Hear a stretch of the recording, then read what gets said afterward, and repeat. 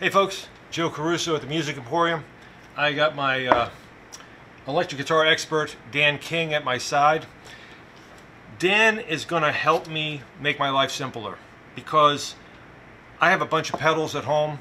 They're scattered all over my basement floor. I don't even know what they're called. I don't know what they do. I probably have more than I need. I just want to plug in key pedals and I want to know they're going to work every single time. And you'd be amazed, I've been playing guitar for a long time and I still don't understand how to make sense of this. So, uh, Dan, you've been basically eating, drinking, you were spoon-fed pedals at, as an infant. Pretty much, yeah. I've been doing this for about 20 years as a, you know, a touring musician, uh, owning a recording studio, kind of really getting neck deep into this world for quite a while. So you speak a language that I don't understand. I don't want to understand.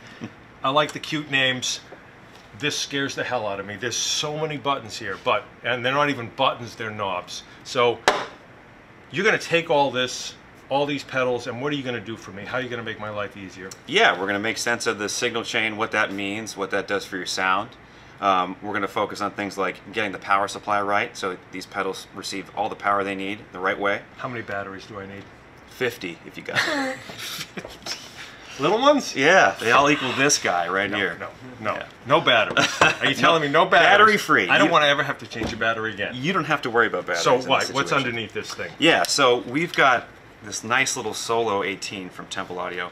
Already got a power supply mounted underneath here for you. It's very elegant. Yeah, yeah right? Mm -hmm. Keeps things nice and clean. Again, clutter free, easy to use. This is a nice simple kind of grab and go board here. A lot of great classic pedals on here. Um, so if you want something nice and simple, um, kind of easy to travel or just um, easy for home use, this is a great example of what we can do here. Uh, we can also scale up. We've got a, a slightly larger size pedal board uh, from the same manufacturer. Um, we can grow the, the, the, size up to about 10, 12 pedals if you'd like, get a little bit more complicated, or keep it simple. So there's a couple different ways to do it. So help get rid of redundancies. Yeah. Help make sure things are synced up, linked up.